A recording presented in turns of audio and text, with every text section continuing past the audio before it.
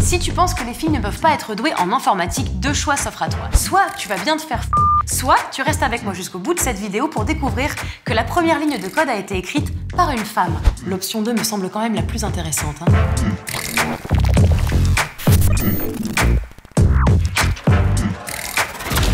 Ada Lovelace, qui contrairement à ce que son nom laisse penser, n'est pas une actrice de film à caractère pornographique, est née en 1815 à Londres et est une pionnière en sciences informatiques. Sa mère, qui l'a élevée seule, est une passionnée de mathématiques. On la surnomme même la princesse des parallélogrammes. Mes fidèles serviteurs, toi le carré et toi le rectangle, dansez pour moi. Du coup, elle encourage sa fille à s'intéresser aux sciences et lui offre une éducation poussée. À 17 ans, Ada rencontre Marie Somerville, une des rares et bien connues femmes scientifiques de l'époque. D'ailleurs, juste pour l'anecdote, le portrait de Marie Somerville apparaîtra sur les billets de 10 livres émis par la Bank of Scotland à partir de 2017. Yes Bref, Marie présente à Ada le mathématicien et inventeur Charles Babbage.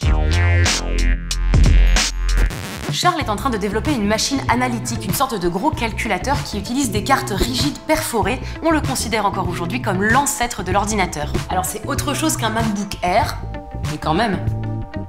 À la base, Charles voulait concevoir des tables nautiques, astronomiques et mathématiques exactes parce que celles de son époque étaient souvent fausses et ont causé pas mal d'accidents. Il s'est dit que comme les humains étaient flemmards et imparfaits, sa machine rectifierait le tir. Un peu comme une calculette super puissante. Alors, d'après notre machine analytique, ce compte poissonnier me doit 3 shillings. Ada se met à bosser avec Charles à partir de ses 27 ans parce qu'en plus d'être douée, elle croit vachement en ce projet de machine analytique. Sauf que les recherches, ça coûte bonbon. Et vu que le gouvernement britannique n'a pas voulu financer la machine de Charles, Ada s'est mis à jouer de l'argent. C'est d'ailleurs ça qui la ruinera. Puis, elle quittera son mari, tombera malade et mourra finalement d'un cancer de l'utérus. Attends, mais c'est horrible.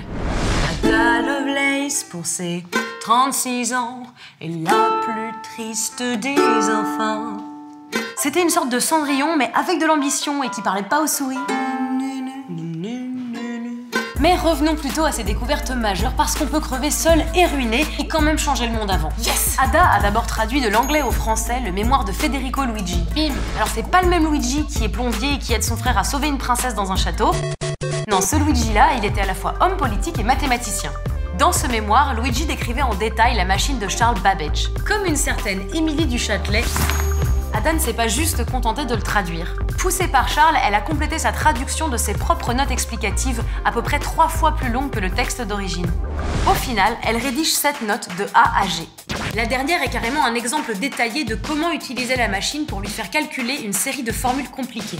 Autrement dit, de la programmation. Cette suite d'instructions est le premier algorithme jamais écrit. Jamais. Je me suis arrêtée au point G pour des raisons évidentes. Parce que c'était déjà très utile, tu pensais à quoi?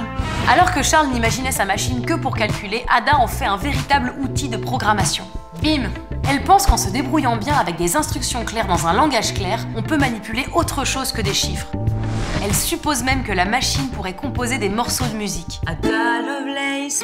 Bref, elle imagine la programmation alors qu'elle n'a même pas d'ordinateur sous la main pour tester ses idées. Ada Lovelace est la première programmeuse de l'histoire, du monde, de la Terre. Et elle a un vagin, c'est pour dire. Elle était tellement douée que Charles Babbage la surnommait The Enchantress of Numbers, l'enchanteresse des nombres. Alors un soupçon de 7, une lichette de 65 et une goutte de 2. Ah bah ça manque de sel. En même temps, la princesse des parallélogrammes pouvait que engendrer l'enchanteresse des nombres, ou la prêtresse des chiffres au pire. En 1979, le nom Ada fut donné en son hommage à un langage informatique. Adapté depuis, il est très fiable et toujours utilisé dans le domaine militaire, mais pas que. On retrouve du ADA dans le fonctionnement du métro parisien, dans la gestion des transports aériens et même dans le contrôle de fusées et de satellites. Yes Alors une petite pensée pour moi quand tu prends un RER, un train corail ou un TGV la machine de Charles ne sortira jamais, mais plus de 100 ans après la mort d'Ada, ces lignes de code ont largement inspiré le travail d'Alan Turing, considéré comme le père de l'informatique moderne sur les premiers ordinateurs. Bim Alors si tu pensais qu'être une femme t'empêcherait de gérer en informatique, tu avais tort. Alors fonce Yes Vu que je pèse un peu dans le jeu de la science, euh, qu'est-ce que vous diriez d'appeler une rue comme moi? Allez là, y a que des rues Marie Curie, c'est chiant Je- Un square, un bout de rue, juste un bout de rue. Je te retrouve très bientôt pour te présenter une autre femme qui a changé le monde. Pourquoi pas Marie Curie, tiens. Salut